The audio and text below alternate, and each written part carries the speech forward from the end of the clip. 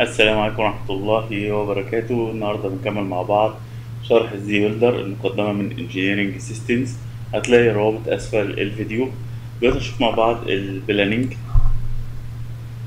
أول ما نفتحه تبدأ تلاقي عندك المشاريع اللي موجودة هنا. تقدر تختار المشروع. تقدر تقول له هنا شوف قط فتقول له تمبليت برايسنج الأسعار بتبقى إيه؟ الأرقام الموجودة أكتيفيتي بلانر activity cost تقدر تعمل export لل Primavera ول Microsoft Project وتقدر تعمل import ليهم. يعني ليه ان أنا اعمل import و export تقدر تشوف المشروع ده ال chart بتاعه project cost chart أو task cost chart أو task drill down chart أو project resources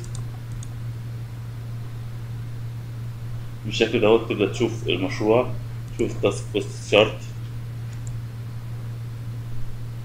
فتقدر تشوف المشروع التكلفة بتاعته هتبقى عاملة إزاي وتقدر من هنا تحدد التاريخ من فين لفين؟